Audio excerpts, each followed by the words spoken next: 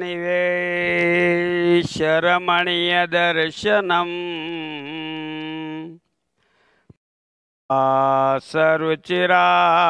सरुचिरानिनाम्बुजम्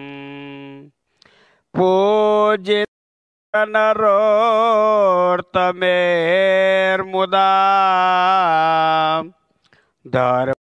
धर्मन्दनमहं विचिन्तये धर्मनन्दनमहं विचिन्तये।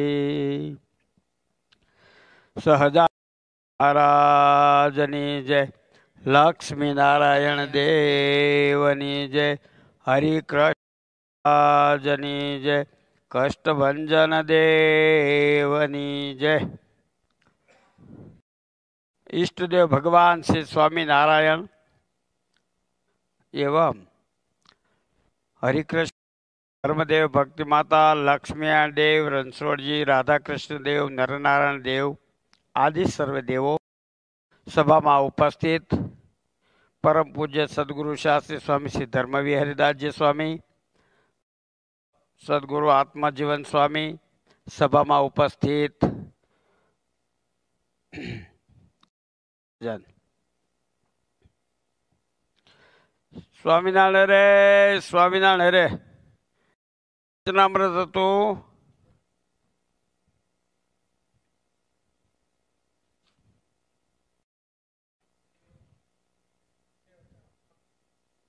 એ હા, સાતમું આવ્યું ને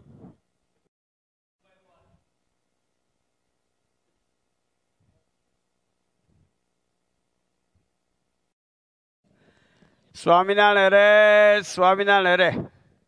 સંવત અઢારસો ને છોતેર સુધી. દશમને દિવસ, શ્રીજી મહારાજ, શ્રી ગઢડા મધ્યે દાદા ખાચરના દરબારમાં અને સર્વે શ્વેત વસ્ત્ર ધારણ કર્યા હતા. અને પોતાના મુખારવિંદની આગળ તથા દેશ દેશના હરિભક્તની સભા બેઠી હતી. કઈ સાલનું છે?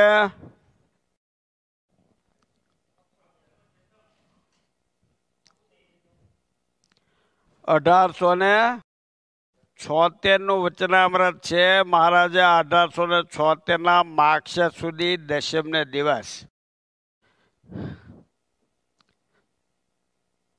શ્રી દાદા ગઢડા મધ્ય દાદા ખાચરના દરબાર હતા અને સર્વે શ્વેત વસ્ત્ર ધારણ કર્યા હતા અને પોતાના મુખારવિંદની આગળ હતા. સાધુ તથા દેશ હરિભક્તો. કારણ કે હરિભક્તો તો દેશ દેશના આવ્યા હોય હોય અને સાધુ તો પર આ વચનામૃત છે અન્વય વ્યતિરેકનું. વચનામૃત છે ગઢડા પ્રથમ પ્રકરણનું. પછી શ્રીજીમાં બોલ્યા છે, શાસ્ત્રમાં આધ્યાત્મક વાર્તા આવે છે. તે કોઈને સમજાતી નથી. અને ભ્રમી પણ જવાય છે. માટે એ અધ્યાત્મક વાર્તા જેમ છે તેમ યથાર્થપણે એ તે સર્વે સાંભળો. અધ્યાત્મ બહુ ઊંડા તત્વજ્ઞાનવાળી હોય તો આપણને કાંઈ ખબર એમાં કાંઈ આપણો ટપો પડે નહીં. પણ એ ટપો કોનો પડે? કે જેના આનો અભ્યાસ ભણેલા હોય, સંસ્કૃતનો અભ્યાસ જેને કર્યો હોય એ લોકોને ટપો પડે, બાકી ખબર પડે નહીં કાંઈક મારા એટલે અહીંયા આ વચનામૃત છે ને થોડું બહુ એ છે, અઘરું છે. બસો ને બાસઠ કર્યા, એમાં લોયાના વચનામૃતો છે ને એ બધા વધારે થોડાક તત્વજ્ઞાનવાળા છે. કારણ કે ત્યાં નાના નાના સંતો બધા ભણતા હતા. અને મહારાજ જ્યારે જ્યારે જાય ત્યારે સંતોની પાસે આવે, સામ, સામા પ્રશ્ન. પૂછાવરા એકાબીજા સંતોને. એટલે એમાંથી સંતોને થોડું જ્ઞાન વધારે વધારે આવે, થોડી સત્સંગની મહત્વ વધે. એટલે લોહીના જેટલા વચનામૃતો વાળા છે. એટલે આ આ પણ તત્વજ્ઞાન વાળું છે. અન્વય વ્યતિરેકનું. શ્રીજીમાં આજે કીધું કે યથાર્થ ઉત્તર અમે કરીએ. સ્થૂળ કારણ ત્રણ દેહને વિશે એકાત્મપણે જે વર્તવું, એ જીવનું અને એ ત્રણ દેહથી પૃથકપણે સત્તા તે જીવનું વ્યતિરેકપણું છે.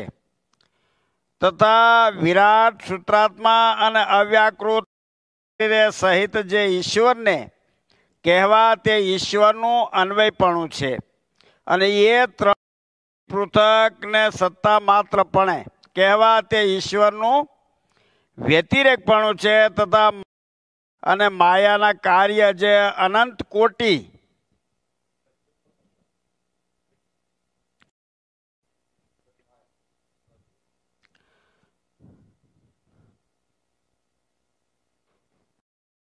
પ્રશ્ન છે. મહારાજ કીધું, સૂક્ષ્મ સ્થૂળ સૂક્ષ્મ અને કારણ આ ત્રણ પ્રશ્ન. હવે એમાં ત્રણે દેહને પડે, વર્તવું તે એ જીવનું અન્વયપણું છે. જીવ છે એ આત્માનો અંત છે. આપણે જીવની સાથે ક્યારેય કોઈ પ્રકારની લડાઈ કરી નથી. કરી? કે ભાઈ ભગવાન મય આપણે જીવન જીવવું જોઈએ આ વ્યવહારની અંદર રહ્યા છીએ તો વ્યવહાર તો છે જ, પણ જીવ છે, એનો અન્વયપણું છે, એ કેવી રીતે સમજાય, તો એ બહુ કઠણ છે સમજવું. એ વાત બતાવી કે જીવનું અન્વયપણું છે, એ ત્રણ દેહથી પૃથક પડે રહ્યું છે. આ દેહ દેહથી એને કોઈ લેવા દેવા લાગતા નથી. અનંત જન્મ ધીરાશ. પણ એક કે દેહમાં ક્યારે કોઈ દેહની અંદર ક્યારે બંધાણો નથી. એ તો મુક્તપણે જ રહ્યો છે. કારણ કે આ મકાન જેવું છે. આને છોડીને એક દિવસ જવાનું જ છે. આ દેહ કંઈ આપણું નથી.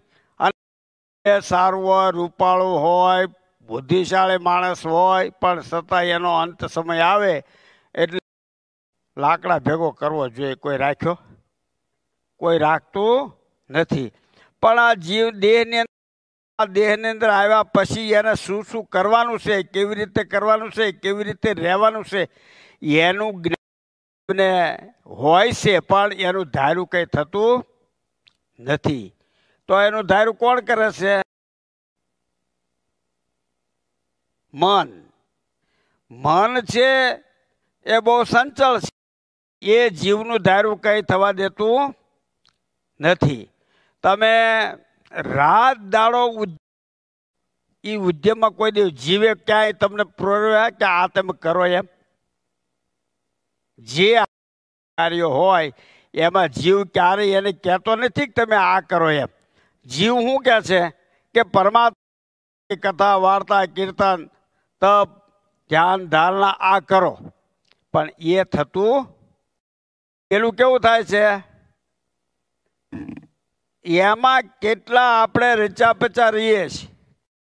કરવું પડે, ના કરવું પડે એવું નહીં. એ કે બહુ, એ નથી પાછું. સંસારની અંદર રહ્યા છીએ, તો એ પણ ના કરીએ તો સંસાર ચાલે નહીં. એટલે કંઈ ભેગ ધીરી બેહી ન જવાય. પણ ભજન ભક્તિ કરવા માટે જળ ભરત હતા ને, એ જળ ભરતનો ચોથો અવતાર એવું કહે છે કે નિષ્કુળાન સ્વામી થયા. પછી જળ, એ જળ ભરતે કેટલું તપ કર્યું?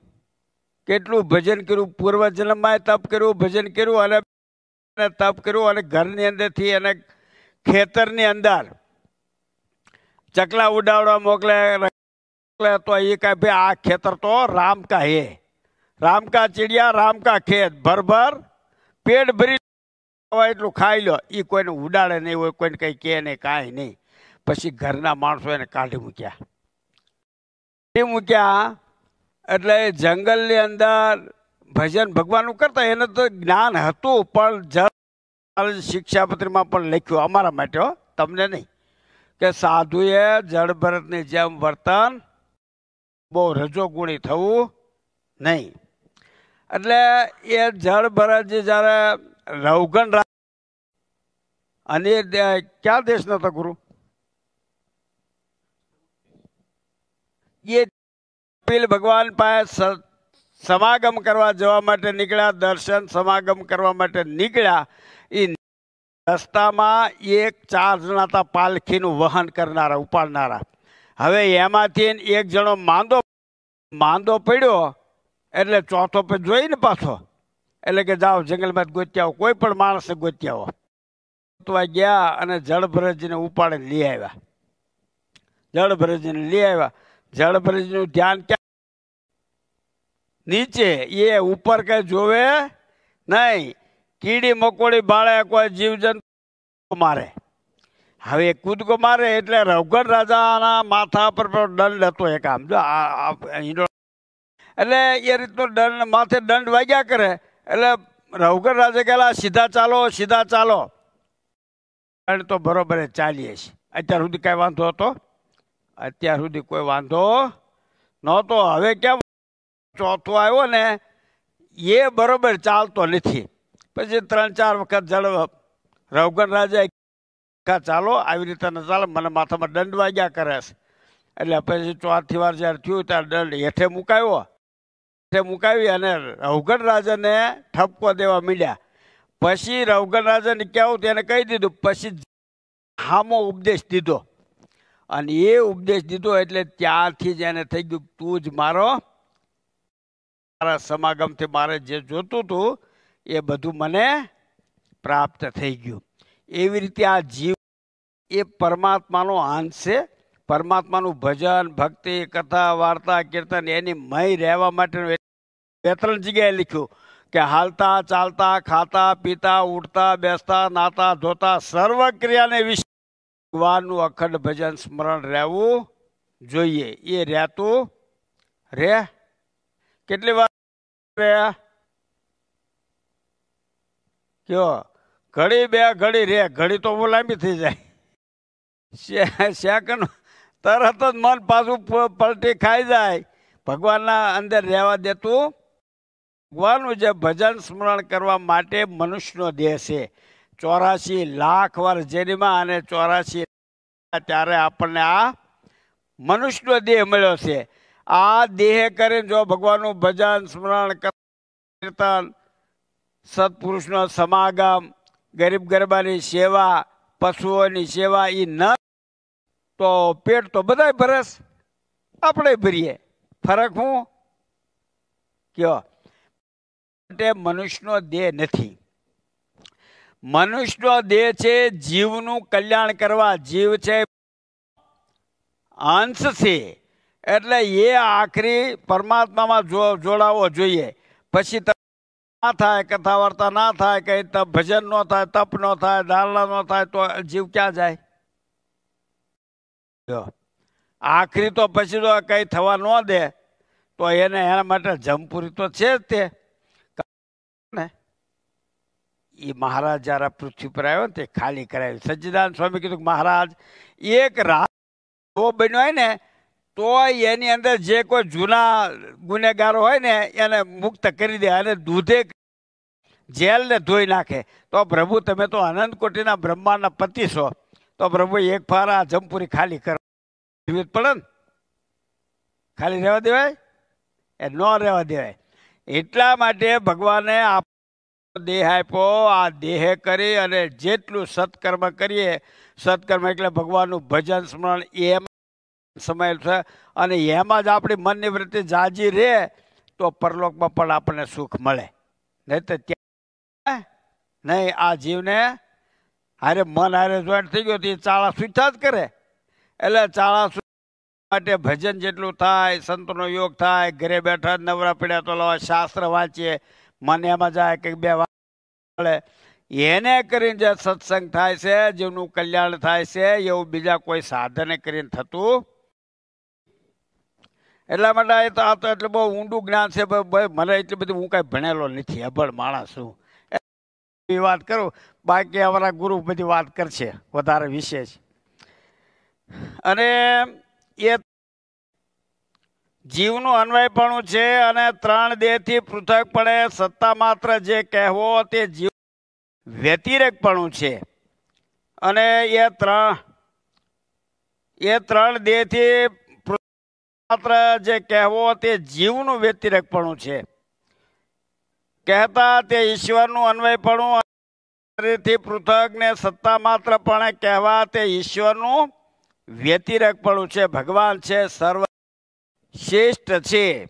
એનાથી ઉપર પછી કોઈ છે નહીં. એટલે એનું જે વ્યતિરેકપણું છે, માયાના જે કાર્ય જે અનંત કોટી, બ્રહ્માંડ તેને વિશે વ્યાપકપણે બ્રહ્મને કહેવા તે એનું અન્વયપણું છે.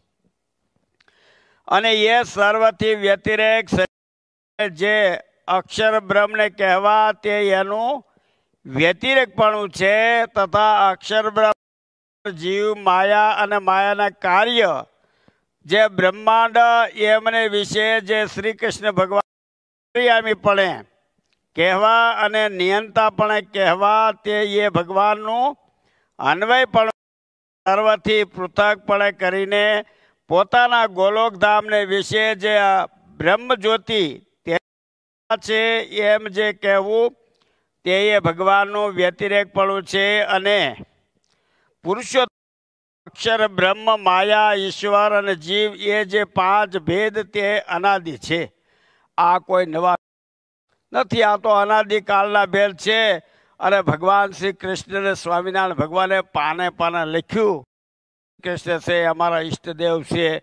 વામે યશ્ય સ્થિતા રાધા શ્રીચ યશ્યાશી વક્ષસી વૃંદાવન શ્રી કૃષ્ણ હૃદય ચિંતે હમણે જે ડખો થયો તો ને ત્યારે એ એવું કીધું કે સ્વામિનારાયણ ભગવાને શિક્ષાપત્રીમાં શ્રી કૃષ્ણ ભગવાનને જ ભગવાન કયા છે? આ તો મહા પુરુષ કયો, જે કહેવું હોય કયો, પણ ભગવાન તો શ્રી કૃષ્ણ છે. એટલે જે તે સમય પૃથ્વી પર આવતા એને માધ્યમ તો કોઈને કોઈ લેવું પડતું હોય. બાકી ભગવાન તો એ છે. પણ માધ્યમ પડતું હોય એટલે શ્રી કૃષ્ણ ભગવાનને મહારાજે માધ્યમ પણ રાખી અને શ્રી કૃષ્ણ ભગવાનને વિશેષ પણ એ જે શ્રી કૃષ્ણ ભગવાને સ્વામિનારાયણ ભગવાને સ્વીકાર્યા હોય તો આપણે એને નહીં સ્વીકારવા, એનું એ આપણે કોણ કહેવાવાળા?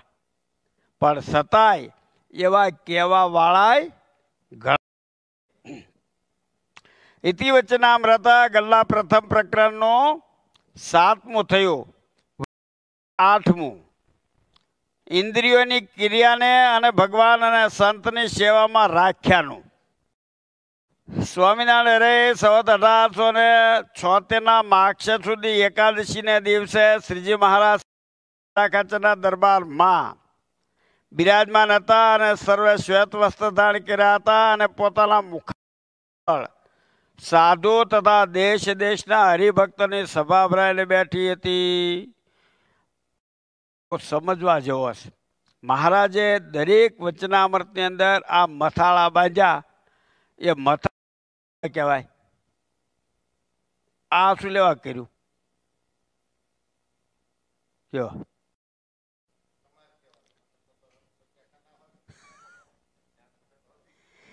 શ્રીજી, મહારાજે આ મથાળું બાંધ્યું ને, એનું બહુ મોટું કારણ છે.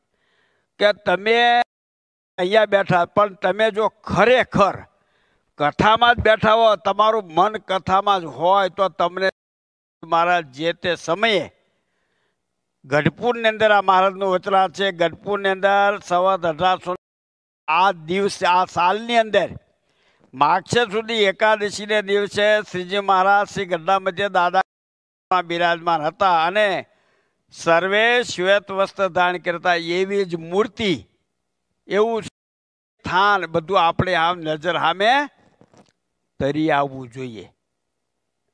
એ દેખાવું જોઈએ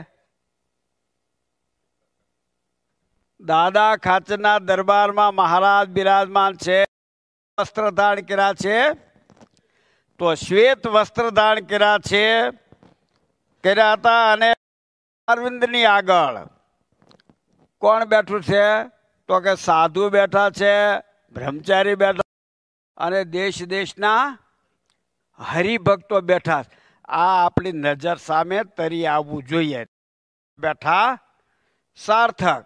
નત્ર મન તો માકડા જેવું હા? માકડા જેવું તો ક્યાંય કુદમ કૂદ કરતું હોય. એ કે મન કથામાં પેલા બેઠા હોય પણ મન બહાર ફરતું હોય. આ વચનામૃતના મથાળા બસો ને બાસઠ વચનામૃતની અંદર લખાણા દરેક વચનામૃતમાં એનું કે ભાઈ આપણે જે રીતે સીજમાં સભામાં, સભા કરીને બિરાજમાન થયા, ગઢપુરની અંદર કે લોયાની અંદર સારંગપુરમાં હોય કે વડતાલમાં હોય કે અમદાવાદમાં હોય કે પછી કારિયાણીમાં હોય, તો એ બધાના મથ, મથાળાની ઉપરથી આપણને એનો આમ સાક્ષાત્કાર થવો જોઈએ. તો કથા સાંભળ્યાનું સુખ આવે. અને જો એ કંઈ ના દેખાય, ના કંઈ થાય આપણું મન બહાર ભીમા કરે, તો એનું કંઈ સુખ નહીં. જે સુખ લેવા માટે આપણે ક્યાં બેસીએ? કથામાં. આ કથા વાર્તા ક્યાં થાય? મંદિરમાં. મંદિર એટલે નવમે ક્ષેત્ર. જ્યાં ભગવાનની કથા થતું હોય એને નવમે ક્ષેત્ર જાણવું. હું? નવમી અંદર ગયા તો પછી ત્યાં શું હોય કે દસ આ શરીરની ઇન્દ્રિયો છે ને? દસ અગિયારમું મન. એની જે ધારાઓ વહે છે ને એ રાત દાડો ઉદ્યમ કર્યા અંદર રહેલું છે દસ ઇન્દ્રિયો અને અગિયારમું મન છે, આ એની ધારાઓને કુંઠિત કરવા માટે પાડવા માટે ભગવાનની કથા વાર્તા, તો ક્યાં થાય કે જ્યાં નવમી ક્ષેત્ર હોય, ત્યાં ભગવાનની કથા વાર્તા થતી હોય. દસ ઇન્દ્રિયો અને અગિયારમું મન છે, એની ધારાઓ કુંઠિત થાય. અને એ કુંઠિત થાય ત્યારે જ આપણે શ્રીજી મહારાજ સુધી પહોંચે કે મહારાજ આ જગ્યા ઉપર આવી રીતે બેઠાશ કાંઈ દેખાય નહીં. દેખાય? મન સ્વાદે બાળા ફેરવે, સ્વાદે ગાય. કોઈ કોઈને પૂછે નહીં ને કલ્યાણ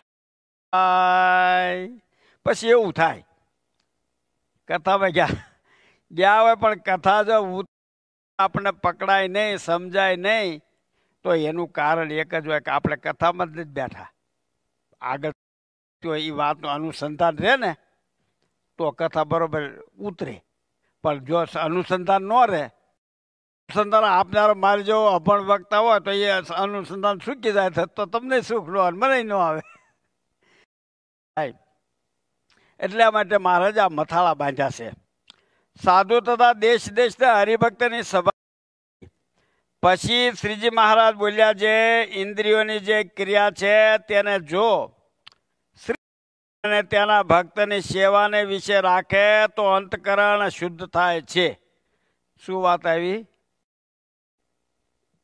આ જે આપણી ઇન્દ્રિયો છે, એને ભગવાનની સેવામાં જોડી દઈએ. ભગવાનની કથા વાર્તાનું, ભગવાનની મૂર્તિનું સુખ તો આવે.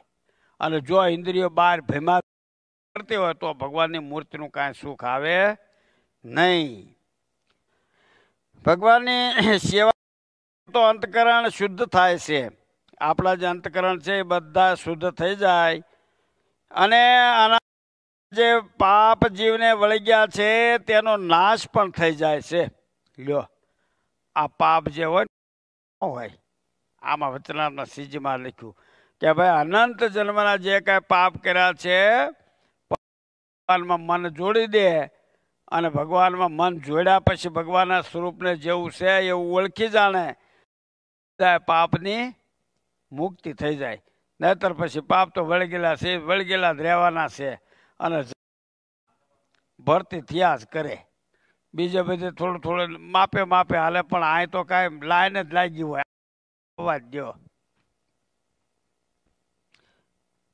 તેનો નાશ થઈ જાય છે અને જો ની વૃત્તિઓને સ્ત્રીયાદિકના વિષયમાં પ્રવર્તાવે છે, તો એનું અંતકરણ ભ્રષ્ટ અને કલ્યાણના માર્ગ થકી પડી જાય છે.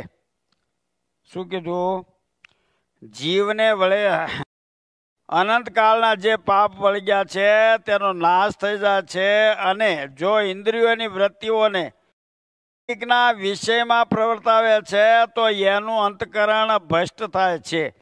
અને કલ્યાણના માર્ગ પડી જવા છે. જેટલું સુખ આપણને ભોગવાનું કીધું, એટલું ભોગવે એમાં મન ન રાખીએ, એ તો સમય પ્રમાણે પણ એમાં અતિશય મન જોડે અને અતિશય પાગલ વેળા કરે, તો એને દુઃખ આવ્યા વગર નહીં. અને એ પાપમાંથી મુક્ત પણ થાય નહીં. માટે શાસ્ત્રમાં જે રીતે વિષયને ભોગવવાનું કહ્યું છે, તેવી રીતે નિયમમાં રહીને વિષયને ભોગ પણ શાસ્ત્રની મર્યાદાનું ઉલ્લંઘન કરીને ભોગવવા નહીં. અને સાધુનો સંગ રાખ અને કુસંગનો ત્યાગ કરવો. અને જ્યારે એ કુસંગનો ત્યાગ કરીને સાધુનો સંગ કરે, એને દેહને વિશે જે અહમ બુદ્ધિ છે, તે નિવૃત્ત પામે છે. અને બંધીને વિશે મમત્વ બુદ્ધિ છે તે નિવૃત્ત પામે છે. અને ભગવાનને વિશે અસાધારણ છે. અને ભગવાન વિના અન્યને વિશે વૈરાગ્ય થાય છે. એટલે આ બધી વસ્તુ કે જો સંસારની અંદર રહેતા આપણે રોજ કહીએ છીએ ને કે ભાઈ કમળ છે એ કાદવમાં ઉગે, પણ એનો પાસ લાગવા દે નથી એમ આપણે સંસારમાં રહ્યા છીએ, સંસારનો પાસ ન લાગે, ભગવાનનું ભજન સમરણ થાય અને જે શાસ્ત્રની મરી આપણને આપી છે, એ પ્રમાણે આપણે વર્તન કરીએ અને ભગવાનનું ભજન શ્રવણ કરીએ, તો ભગવાન આપણને આ લોકમાં પરલોકમાં પણ સુખ્યા કરે. સહજાનંદ સ્વામી મહારાજની જય. શ્રીધરમ सर्वदेवीश्वरं ભક્તિધર્માત્મજમ वासुदेवं હરે માધવમ કામધમ कारणं શ્રી નીલકંઠમ ભજે સહજા મહારાજની જય